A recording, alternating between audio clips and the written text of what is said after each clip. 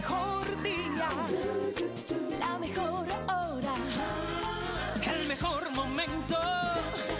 Cualquier cosa puede pasar. Muy buenas noches y bienvenidos a este sábado de la noche de hoy, 15 de enero, un programa de reencuentro, un programa de regreso y, por qué no, un programa de inicio, el primero de este 2022. Y estamos súper felices de volver a conectar eh, con todos ustedes a través de esta pantalla, por supuesto, la de Globovisión.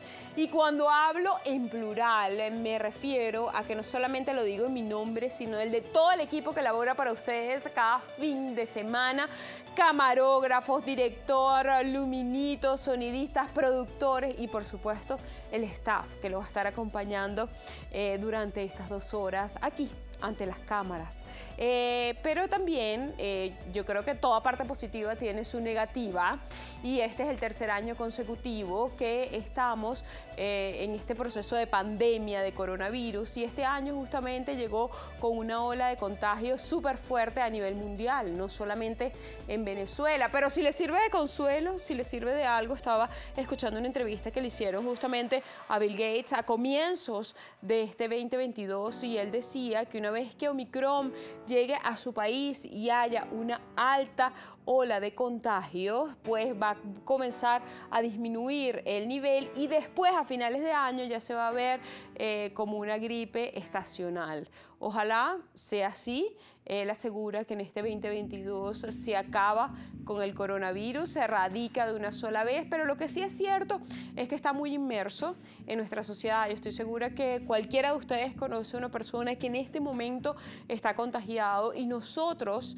también la conocemos aquí en sábado de la noche y es nuestro querido Orlando Suárez, por eso no nos va a estar acompañando en el programa de hoy. No sé si estará acompañándonos en el programa de la semana que viene, pero la Sociedad Venezolana de Infectología estaba diciendo que el aislamiento con Omicron es solamente de 10 días, a diferencia de lo que estábamos acostumbrados anteriormente, de 14, 15 días, a lo mejor 21. Así que nadie quita que la semana que viene, si él se hace su examen y sale negativo, pueda estar nuevamente con nosotros. Ojalá sea así, pero que sí, ¿quién está aquí en el estudio desde este comienzo del 2022? Es Yolimero del Mejía. Bienvenido, Yoli. Hola, Meli. Bueno, haciendo votos porque definitivamente ese sea el comportamiento en el caso de, del virus en el caso de Orlando, a quien extrañamos muchísimo, disfrutó unas vacaciones muy sentidas y muy merecidas a finales de diciembre y precisamente llegando de ese viaje de México resultó positivo su prueba de PCR. Sabes que te extrañamos muchísimo. Y bueno, y usted no importa que no le conteste por el Instagram, escríbale arroba yo soy Orso, envíele su buena vibra y su deseo de que se recupere muy, muy pronto. Y yo estoy completamente seguro que la felicidad del cuerpo siempre se va a fundir eh, o se funda en la salud, así como la del entendimiento se funda en el saber. Así que yo creo que una persona este, eh, saludable, una persona sana, ya tiene toda la vida por delante. Eh, justamente pedía este 31 de diciembre salud y después todo lo demás. En segundo lugar, para mí el dinero, porque después digo que con salud y dinero compro el resto. Y, pero cada uno tendrá su punto de vista, a lo mejor el amor eh, y otros muchos tópicos eh, que pueden tocar, ¿no? ¿Cuál es el tuyo, por ejemplo, Jolly? En segundo lugar, yo estoy segura que tú también, en primer lugar, pides la salud, ¿no? Sí. A pesar, eh, de, a pesar de que la enfermedad es consustancial a, a la vida. Claro. Eh, bueno, yo diría que en mi segundo lugar estaría el amor. Pero el amor no solamente el amor de pareja, sino el amor que uno siente por sus amigos, por su familia. Este, yo creo que un ser humano sin, sin afecto, sin cariños, es como, está como incompleto. Pero también hablabas del saber. Aprovechemos para enviar nuestra felicitación a todas las personas que ejercen la docencia, que en esta época de influencer, influenciadores y tienen millones de seguidores, a mí me parece que hay mejor influencer que nuestros padres en la casa y que nuestros maestros y profesores en las escuelas. Así que feliz eh, Día del Maestro por todos aquellos que pasé, ¿no? Porque este, me adoctrinaron muy bien a lo largo de, de los años. Primero el Mater Salvatoris, después la Universidad Católica Andrés Bello, no me quejo. Eh, siento que, que mm, tuve en su momento una educación perfecta y los conocimientos fueron muy bien implementados eh, desde el colegio hasta la universidad. Estoy segura que tú también estás de acuerdo. Nosotros compartimos la, misma alma mater y bueno, yo aprovecho para mandarle un abrazo a todas mis excompañeras y a mis maestras y a las monjas de Nuestra Señora de la Consolación. Formo parte de la familia consolacionista. Ay, qué bueno.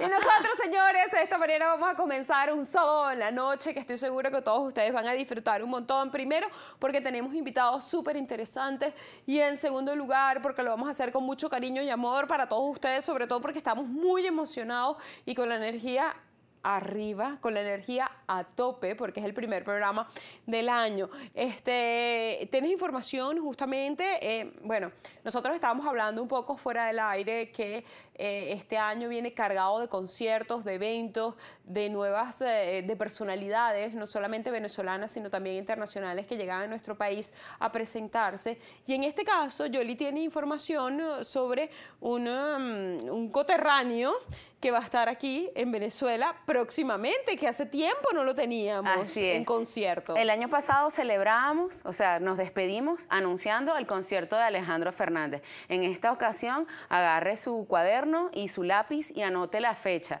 17 de marzo. El sonero del mundo, Oscar de León, ganador del Grammy, vuelve a Venezuela. Esta vez se va a presentar en el estadio de fútbol de la Universidad Simón Bolívar de la mano de la productora Edenpro. ¿Ok? Eh, también solamente recordarle a la gente que desde hace algunos años eh, Oscar es manejado por su esposa, por, eh, por Zoraida, quien ha sido una... O sea que ya Osvaldo Ponte no está allí. No, porque falleció.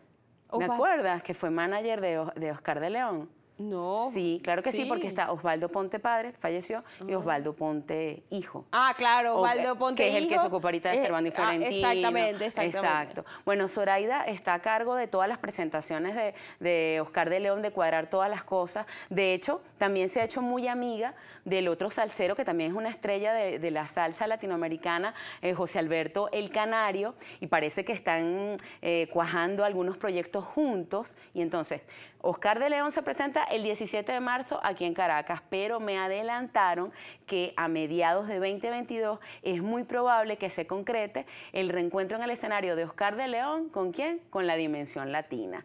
Así que me este 2022 viene con todo. ¿no? Pero él estaba con Osvaldo Ponte Jr. en algún momento, ¿no? Que tuvo eh, como un una discrepancia con él. Es probable que se hayan separado hace algunos años, pero te podría asegurar que los últimos han sido de la mano de su esposa. Aparte, dime tú si no es una decisión inteligente. Claro. Que tu esposa sea tu manager. Yo la última vez que vi a Oscar de León fue en una fiesta de 31 de diciembre para primero de enero, ya hace unos años, por cierto, estaba compartiendo ese evento con, con Rocío Higuera ya hace unos años en Miami y, de verdad que él eh, tiene una energía increíble. O sea, muchas veces tú lo puedes ver eh, por cualquier calle de, mm, la Ciudad del Sol trotando en la mañana, ¿cuál teenager? Tiene más energía que nosotras dos juntas. Eh, bueno, de cualquier manera, nosotros tenemos más información. Sobre Chino Miranda. Se han corrido muchos rumores. Hemos visto, bueno, eh, pon en contexto a los televidentes eh, sobre qué es lo que está pasando.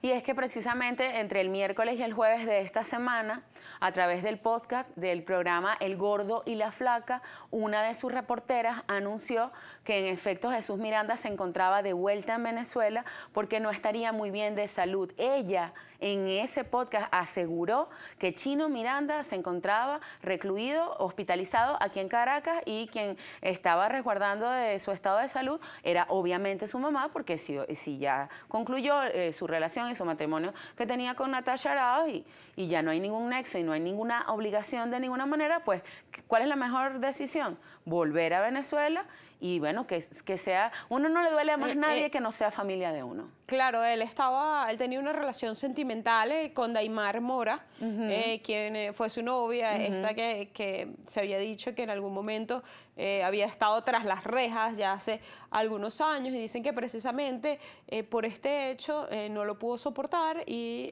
terminó la relación. Sí, es que de hecho en ese mismo espacio hablaron acerca de eso y comentaban que supuestamente el círculo cercano de Chino había asegurado que no había podido soportar la presión y los comentarios que habían ejercido sobre las redes sociales, porque como recordemos, en el año 2011 ella se vio involucrada en el robo, en el robo de una camioneta. En, en otras palabras, tenía antecedentes penales. penales y bueno, quizás Jesús no estaba acostumbrado a relacionarse con una persona, quizás si él no hubiese sido una figura público y no, no se somete a esa relación a, a semejante escrutinio, puede pasarlo, no, también, pero... eh, también no sabemos si él- ella le había confesado esta realidad. Probablemente se enteró eh, a través de las redes sociales y ella nunca se lo dijo de frente, que eso también pudo haber sido otro, otro detonante, ¿no? Para finalizar la relación. Pero lo que sí es cierto es que eh, recientemente quien habló fue Rodner Figueroa, dijo que se había comunicado con un miembro de la familia de Chino Miranda, que él sí se encontraba en Venezuela, pero que estaba en su casa,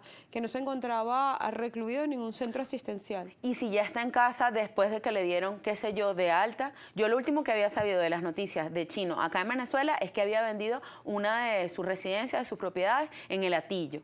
Hasta ahí me había quedado hasta que esta semana, porque acuérdate que Chino se alejó de las redes sociales desde septiembre del año pasado. Él mismo dijo, por mi salud mental, me voy a concentrar en mí, que pum, que pum, y no supimos más nada de él hasta esta semana que conocimos esta información de la reportera del Gordo y la Flaca. Bueno, a mí sí lo que me parece mm, mm, eh, no atinado, digamos, eh, por no ponerle otro calificativo, es que atienda a los medios internacionales y que sus familiares atiendan a los medios internacionales y dejen en visto a los medios locales, sobre todo su manager, porque eh, nuestro equipo de producción tuvo la oportunidad pues de comunicarse con él y lo dejaron en azul. Entonces, eh, si, uno, si uno está preocupado, si uno siente incertidumbre, si uno quiere brindarle información más allá de lo que está diciendo un periodista que por más que sea venezolano, en el caso de Rodner Figueroa, está en Miami, está fuera de nuestras fronteras, si Chino Miranda está en Caracas, que es lo ideal, que es lo idóneo, eh, que un periodista venezolano pues brinde la información. Está bien, no escoja a sábado en la noche, escoge a otro periodista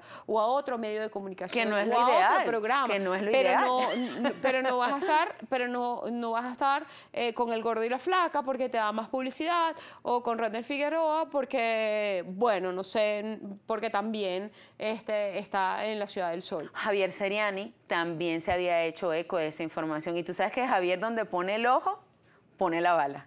Bueno, de cualquier manera nosotros vamos a seguir tras la pista, vamos a continuar intentándolo. Ojalá pues mm, este, den algún tipo de información porque nada cuesta, eh, entiendo yo, decir, bueno, eh, sí, se encuentra bien, está en la casa, o mira, está en proceso de recuperación, eh, lo está atendiendo su madre. Mm, no veo la razón por la, que, por la cual eh, dejar en azul y no decir ni un hola. Completamente de acuerdo contigo. Así que nosotros vamos a la primera pausa comercial de la noche. Les voy a contar desde este momento que vamos a utilizar una etiqueta. Eh, es bastante creativa. Sábado de enero. Sábado de enero es la que vamos a estar utilizando a lo largo de estas dos horas de programación para que se contacte con nosotros, para que interactúen y, que- para que podamos ver cada uno de sus comentarios a través de arroba sábado de la noche GB, que es la cuenta que nos conjuga, pero también están las personales, eh, Yoli Lu y Melissa Rauseo. Esta es la primera pausa comercial de la noche y al regreso volvemos con los primeros invitados del día de hoy.